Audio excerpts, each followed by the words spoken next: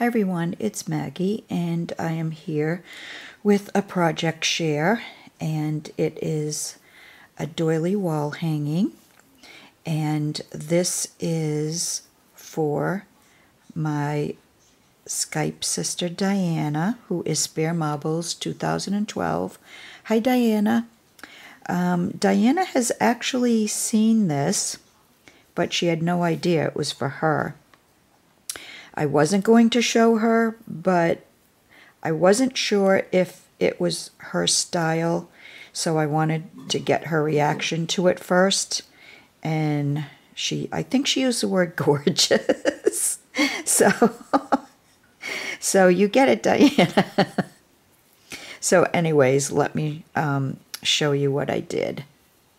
I took this beautiful image, I put it onto, I transferred it onto muslin and I did my usual doily thing, and you can see on the back. and then um, I put the image down, and then I just started working from there. I took this beautiful little trim from TPG Crafts on Zibbet Julie store, and I, as I put it down, I um, I kind of pinched it at each section because it wouldn't go around and lie flat. So I thought, well, I'll make it a little dimensional, and you can see that it is a little dimensional.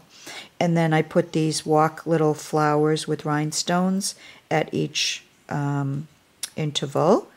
And then I added a couple of my clay flowers. Well, actually, more than a couple, I guess, huh? um, I had some of these um, flower applique pieces and I used them here, here, and here, and I added the different clay flowers to them. Um, this piece here was actually a flower um, on uh, a piece of, you know, the netting, um, like embroidered, and this was from uh, Virginia. Hi, V. Virginia 1468. She had sent me a, um, a piece of this, and this was the last flower I had. And it also had these um, like trailing vines, and I fussy cut them all. I went around and took all, as much, I got as close as I could, you know, with the netting, but I had just enough that I could go all around the doily. And this embroidered trim here that I put on the bottom is from Elegant Embellishments. And um, I just love that. And underneath is this trim here, which is also from TPG Crafts. And you can't see very much of it, but it does kind of even it out.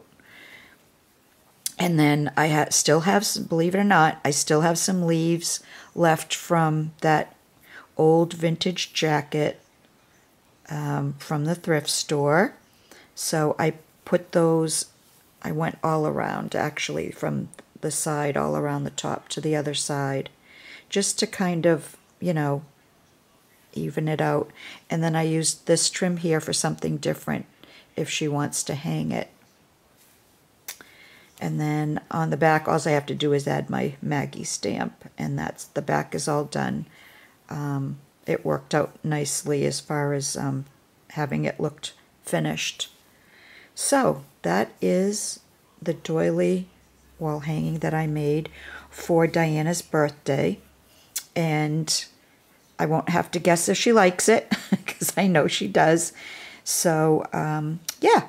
So let me know what you think, and I will um, see you all again soon with hopefully another project share.